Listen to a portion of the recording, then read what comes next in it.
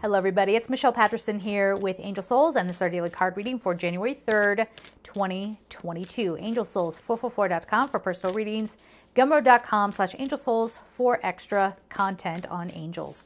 All right, Happy New Year, everybody. So let's break down that weekly. If you haven't seen the weekly, wow, go back and see it. Got cards flying in my face. Okay, full moon in Sagittarius. See the bigger picture. We keep getting this. Okay, we got this a couple weeks ago. or something three weeks ago. All I know is that we are revealing everything. That's the full moon. What is possible? Yeah, revealing what is possible and realizing just how provincial we have been in how we view ourselves and how, uh,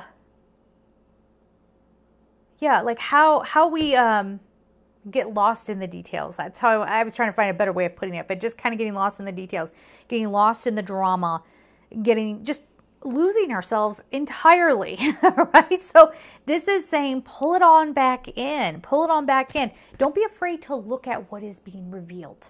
Now, that may be something about you. Some of you out there might have to admit, okay, um, I use threats and intimidation to get what I want. I like to have control over other people because I feel out of control of my own life. Are you a bully? Are you an enabler of bullies? Because all that's stopping right now. This isn't your world and it will not sustain you. Now, if you say, no, I'm a healer, I'm a this, I'm a that, are you doing it without ego?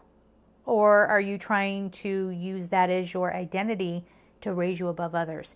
You see what I'm getting at here? That's what we're having to stand back and examine for ourselves. All right?